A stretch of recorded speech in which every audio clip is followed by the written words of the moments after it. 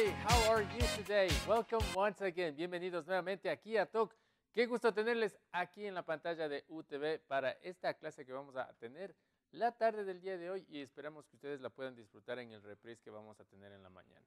Bueno, mucho eh, tengo que informarles el día eh, de hoy. Aquellas personas eh, que ya rindieron la prueba del nivel 1, 2 y 3, por favor, muy importante, sus certificados ya se encuentran en la oficina de vinculación con la colectividad, en la dirección de vinculación con la colectividad en el edificio central de la Universidad Técnica del Norte. Ustedes pueden venir, retirar sus certificados, ya están listitos para que ustedes los puedan venir a recoger. ¿Ok?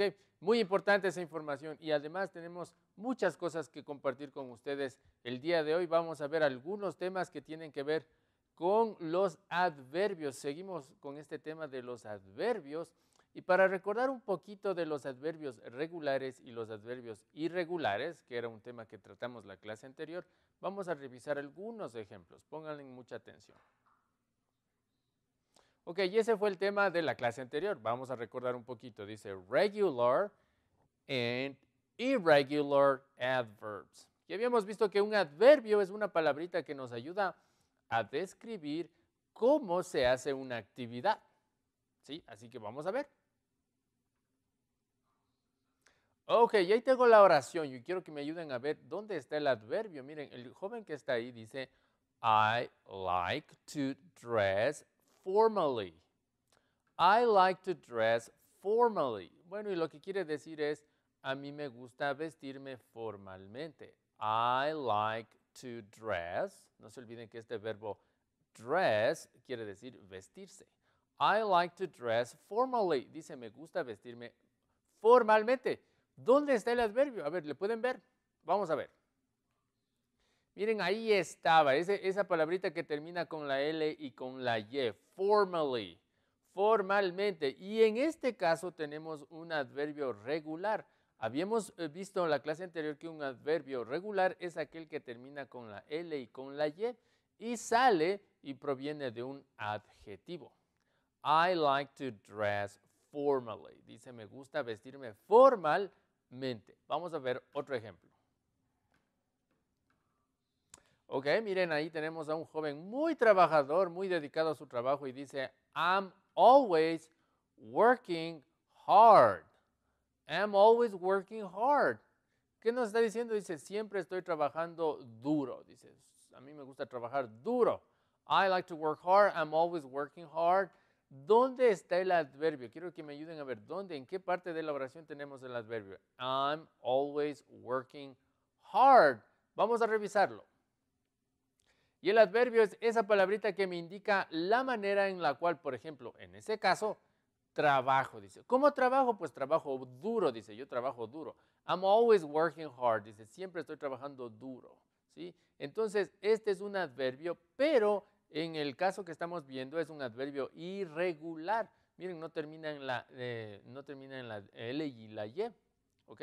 Así que este adverbio irregular puede funcionar tanto como adverbio como adjetivo. Eso es algo que habíamos visto en la clase de ayer. Veamos otro caso. I like to clean things very well. I like to clean things very well. Y le tenemos ahí al amigo, creo que es obsesionado con la limpieza y dice, me gusta limpiar las cosas muy bien. I like to clean things very well. So I like to clean things very well. ¿Dónde se encuentra el adverbio en ese ejemplo que ustedes ven ahí? Ya lo vieron, ¿no es cierto? Ya lo identificamos, así que vamos a ver qué tipo de adverbio es. Es un adverbio irregular. Well. I like to clean things well. Dice, me gusta limpiar las cosas muy bien. Y observen que en este caso es un adverbio irregular, ¿sí? No, eh, no, no termina en L y Y proviene del adjetivo good, que significa eh, bueno. Pero en este caso, well quiere decir bien, ese es el adverbio, bien. I like to clean things very well. Me gusta limpiar las cosas bien. Este es un adverbio irregular. Vamos a ver otro ejemplo. Dice, I'm not feeling good right now. I'm not feeling good right now. Híjole, vamos a ver si es que ahí tenemos un adverbio o un adjetivo. ¿Se acuerdan de las excepciones? Habíamos visto que hay ciertos verbos que no se los puede describir utilizando un adverbio. Vamos a ver dónde está la palabra más importante de esa oración. Dice, I'm not feeling good right now. Dice, no me estoy sintiendo bien. I'm not feeling good right now. En este caso es una excepción ya que como ustedes pueden observar, la palabra good es un adjetivo. Estamos describiendo con un adjetivo la manera como nos sentimos. I'm feeling good.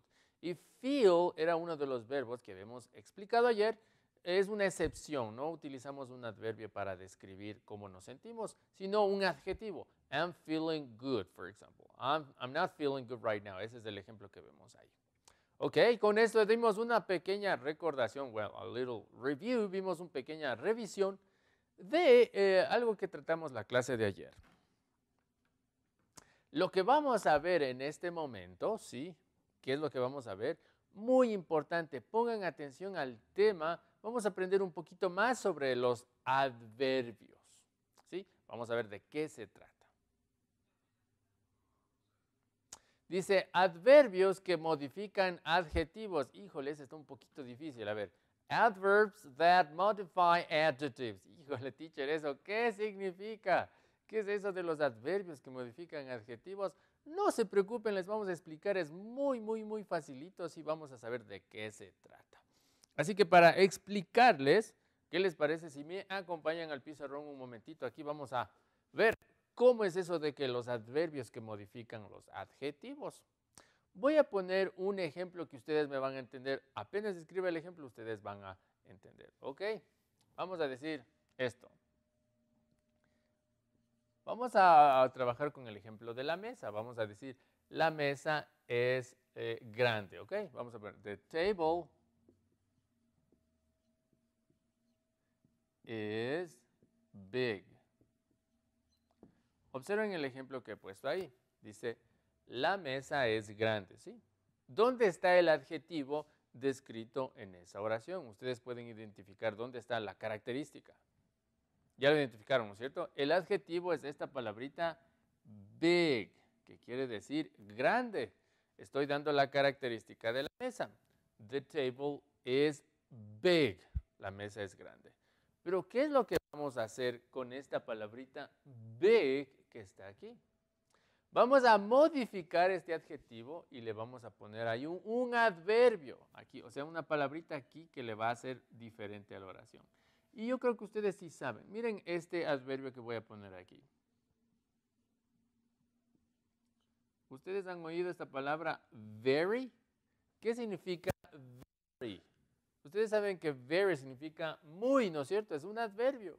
Miren, con este adverbio estoy haciendo que este adjetivo sea mayor, sea más grande. Dice, la mesa es muy grande. Voy a ponerle otro adverbio aquí. Miren, voy a poner este. Miren, aquí tengo otro adverbio. Y digo, the table is really big. ¿Qué estoy diciendo? La mesa es realmente grande, aunque en español no suena tan bien que la traduzcamos así. En inglés quiere decir la mesa es muy grande. Pero voy a ponerle otro adverbio aquí para que ustedes puedan observar.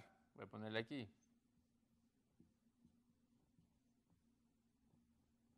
Extremely, extreme. Observen ese. The table is extremely, extremely big. Estoy seguro eh, si está bien escrito esto. Extreme, extremely, creo que es extremely. Sí, sí, déjenme revisar. A ver, vamos a ver.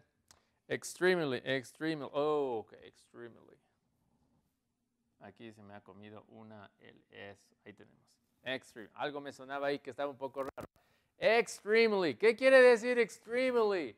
Extremely quiere decir extremadamente, extremadamente. ¿Ok? Entonces, miren, con estos adverbios, aquí creo que no va a estar, ahí está, extremely big. Ok, con estos adverbios que estoy poniendo aquí, estoy haciendo que este adjetivo, ¿sí? Como que se, se modifique, sea más grande. Aquí digo, la mesa es muy grande, muy grande, extremadamente grande. No es lo mismo que si es que no tuviera los adverbios, ¿sí? Al yo incluirle el adverbio en la oración, estoy haciendo que esta oración crezca un poquito más de fuerza, sea más fuerte, ¿sí? Entonces, al tratar el tema de estos adverbios que modifican los adjetivos, estoy diciendo que estas palabritas que les puse en círculos están haciendo que este adjetivo que estoy poniendo ahí, esa característica, sea más, más grande, mayor, sea más intenso, le dé un poquito más de fuerza a la oración. ¿Sí? Vamos a continuación a ver algunos ejemplos y quiero que ustedes pongan mucha atención. Miren, ahí tenemos un ejemplo, ¿sí? Estamos eh, representando el adjetivo de color azul. Y bueno, ahí decimos, she is a talented guitarist. Yes, she's a talented guitarist. Estamos diciendo que ella es una guitarrista talentosa. Observen que el adjetivo está de color azul. Pero ¿qué les parece si modificamos un poquito esta oración y vamos a incluir ahí un adverbio? Miren, hemos eh, puesto ese adverbio que está de color rojo y la oración se hizo más fuerte. Dice, She is an incredibly talented guitarist. ¿Qué estamos diciendo? Estamos afirmando que ella es una guitarrista increíblemente talentosa. Es como que decimos, es una ah, guitarrista muy talentosa, extremadamente talentosa. ¿Y cuál es la función del adverbio? Está haciendo que la oración sea más fuerte. Está modificando a ese adjetivo que está ahí. She is an incredibly talented guitarist. Vamos a ver otro ejemplo. Ok, miren, ahí tenemos eh, un ejemplo similar. Estamos diciendo que Jenny is a patient teacher. She is a patient teacher. Estamos diciendo, la Jenny es una, una profesora muy eh, paciente, es paciente, la teacher es paciente. Jenny is a patient teacher pero vamos a modificar esta oración y lo que vamos a hacer es le vamos a incluir ahí un adverbio. Ok, y miren, ahí tenemos el adverbio que habíamos visto hace un momento en el pizarrón, que no me acordaba cómo se escribe, pero ahí lo tenemos muy clarito, extremely. ¿Qué quiere decir extremely? Extremely quiere decir extremadamente. Y al incluirle en la oración, miren que estoy modificando ese eh, adjetivo que está ahí, lo estoy haciendo más fuerte. Jenny is an extremely patient teacher. Estoy diciendo que Jenny es una profesora extremadamente paciente. Estoy haciendo que la oración sea más fuerte. She is an extremely patient teacher. Entonces lo que estamos viendo es que ¿sí? los adverbios hacen, cuando van cerca de un adjetivo, hacen que el adjetivo sea más fuerte, que sea, tenga un poquito más de potencia, más fuerza ahí. Vamos a revisar otro ejemplo para seguir eh, aprendiendo un poquito más. Ok, ahí tenemos un adjetivo muy fácil que todos ustedes conocen, nice. ¿Qué quiere decir nice? Nice quiere decir chévere, buena gente, lindo. My neighbor is a nice guy. My neighbor is a nice guy.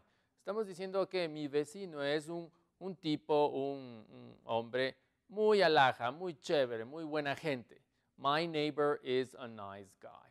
Pero vamos a poner ahí un adverbio para hacer que esta oración tenga un poquito más de fuerza.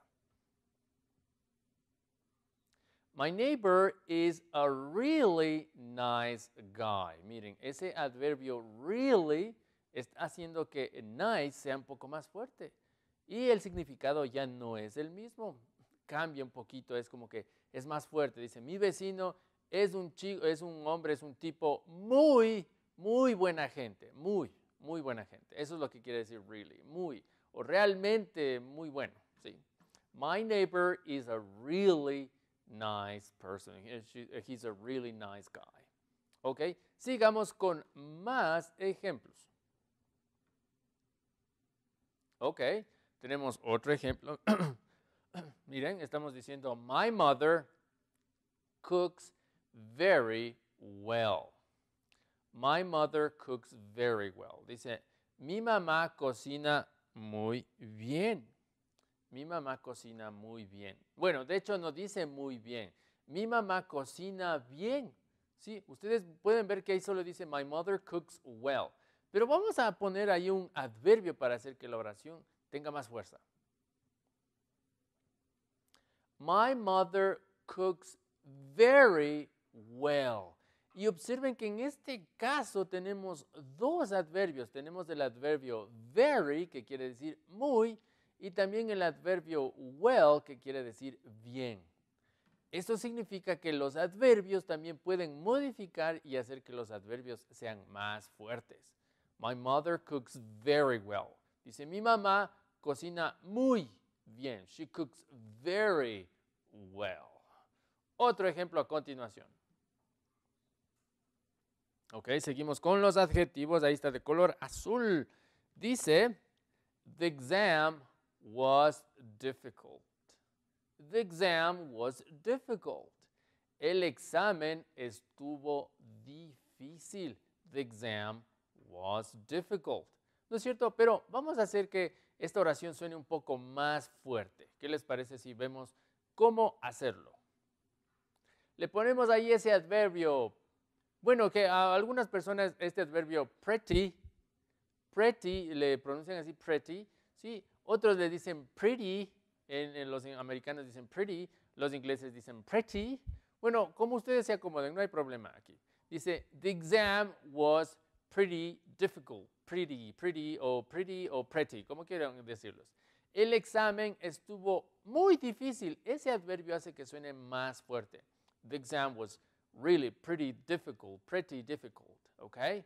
¿Qué quiere decir pretty? Es como decir muy, muy, muy difícil. Es igual a decir really difficult, all right? Vamos a ver otro ejemplo. The food was wonderful. Y aquí me gustaría que tomen nota de este adjetivo wonderful, que quiere decir maravilloso. Dice, la comida estuvo maravillosa. The food was wonderful. La comida estuvo maravillosa. Pero vamos a hacer, ahí a modificar este adjetivo wonderful y le vamos a poner ahí un adverbio, al igual que los ejemplos anteriores. Vamos a ver. Dice absolutely. ¿Qué quiere decir absolutely? Parece en el español, parece un poquito al español. Dice Absolutamente, eso es lo que quiere decir absolutely. The food was absolutely wonderful.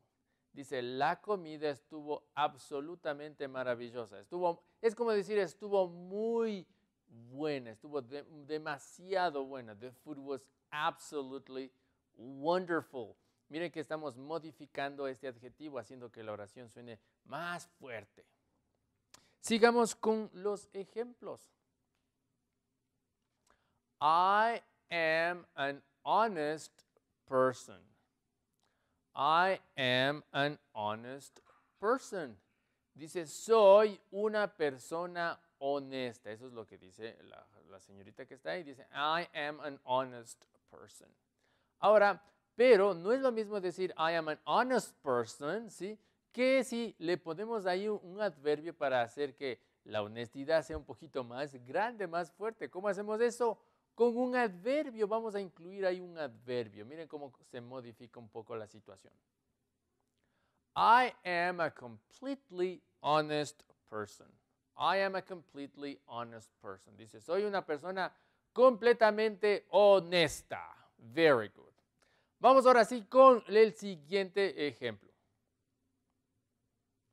Quiero que ustedes me ayuden a poner esa, esa oración en orden. Lo que quiero decir es que Johnny es una persona totalmente desorganizada. ¿Cómo hacemos eso? Pues vamos a, poner en orden las palabras. ¿Qué les parece? Entonces iniciemos. Ponemos Johnny y luego ¿qué ponemos?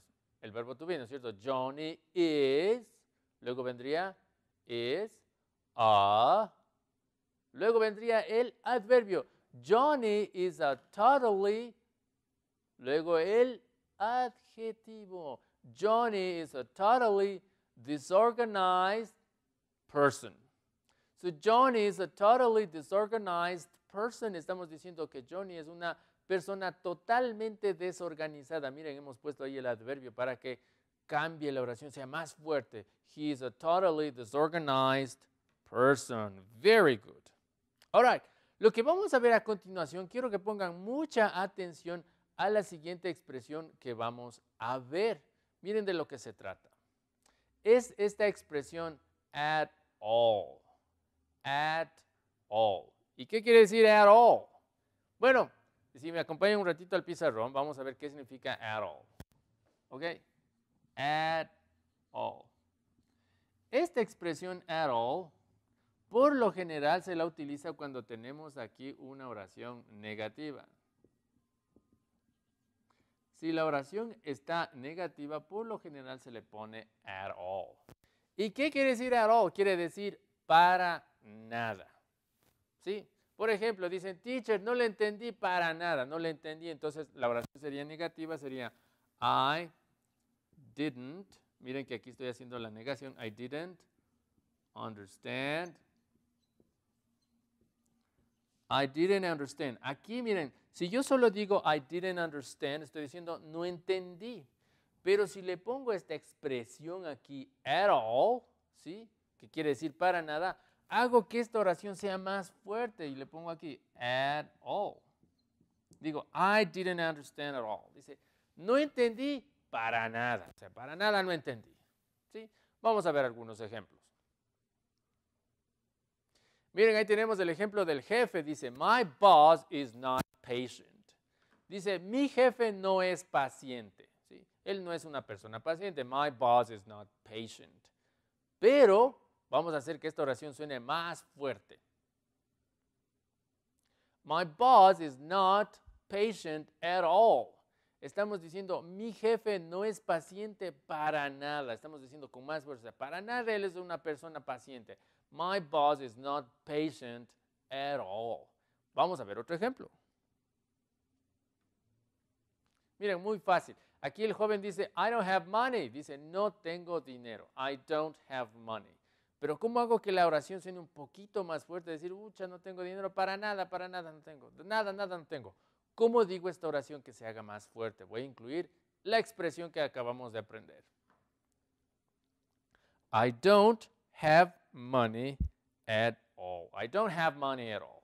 Ok. Y antes de terminar, porque, el tiempo se nos está agotando, vamos a ver un tema muy interesante. Vamos a ver que hay unos adjetivos, sí, porque vamos a ver también eso. Hay ciertos adjetivos, a ver si me enfocan un ratito a mí, por favor. Bueno, hay unos adjetivos, sí, que se los puede utilizar cambiando el significado, sí. Si le ponemos unos prefijos. ¿Qué son prefijos? Son palabras cortitas que se ponen al inicio de una palabra y cambia totalmente el significado. ¿sí? Vamos a ver algunos ejemplos de algunos adjetivos en los cuales se le pone un prefijo y el significado es totalmente opuesto a lo que queremos decir. Miren estos ejemplos. Ahí tenemos la persona, miren, ahí tenemos el adjetivo patient, que quiere decir paciente, patient. Pero si es que le ponemos ahí un prefijo, miren cómo cambia la situación. Impatient. Observen que hemos puesto ese prefijo y es el significado totalmente opuesto. Patient es paciente y impatient es impaciente. Miren qué fácil, así podemos incrementar nuestro vocabulario. Vamos con otro ejemplo. Miren, otro ejemplo, friendly quiere decir amigable, friendly, amigable. ¿Qué va a pasar si yo le pongo un prefijo ahí? Miren cómo cambia la situación. Dice unfriendly. No es lo mismo decir friendly que decir unfriendly. Friendly significa amistoso o amigable y unfriendly quiere decir poco amigable o una persona que es muy enojona. Unfriendly. Hemos puesto ahí el prefijo para dar otro significado. Pero veamos otro ejemplo más. Ok, miren, ahí tenemos el ejemplo. Dice honest, honest, que quiere decir honesto, honesta, honest, ¿sí? ¿Qué es lo contrario de honesto honesta? Sería alguien deshonesto, ¿no es cierto? Y resulta que en inglés es casi similar. Miren cómo le ponemos ahí el prefijo. Dishonest. ¿Qué quiere decir dishonest? Una persona deshonesta. Honest, dishonest. Entonces podemos sacar algunos adjetivos y ponerles unos prefijos por ahí y miren que tenemos algunas características diferentes. ¿sí? Bueno, el programa se ha terminado. Antes de concluir, ¿qué les parece si vemos el resumen de lo que hemos tratado la clase del día de hoy? Hemos visto, sí, que hay em, entre adverbios, sí, eh, continuamos con el tema de los adverbios, los adverbios pueden modificar los adjetivos y hacerlos más fuertes. Por ejemplo, ahí tenemos uno que dice totally honest, que quiere decir totalmente honesto. El adverbio totally está haciendo que el adjetivo honesto sea más fuerte. Lo mismo ocurre si le pongo un adverbio antes de otro adverbio, pues se hace más fuerte. Really hard, que quiere decir muy fuerte. Really hard. Y también vimos al final que si añadimos en algunos casos algún prefijo, ¿sí? ahí tenemos un ejemplo, si por ejemplo a este adjetivo organized, que quiere decir organizado, le pongo un prefijo y pongo disorganized, miren que es el significado completamente diferente. Eso es todo lo que tratamos la clase del día de hoy. No se olviden que las hojitas de trabajo están en Facebook y también ustedes las pueden descargar a través de YouTube en nuestras redes sociales como Talk UTV. Ustedes váyanse a Talk UTV, busquen en Facebook Talk UTV y nos pueden encontrar ahí. O también diríjanse a YouTube eh, a través del nombre UTV en línea y estamos con todas las clases ahí para que ustedes se puedan descargar, las puedan revisar y importante, ustedes puedan coger las hojitas de trabajo. Ok, conmigo ha sido todo por el día de hoy. Nos vemos la siguiente clase con más cosas interesantes del inglés. Así que bye bye, have a great afternoon. I will see you next class.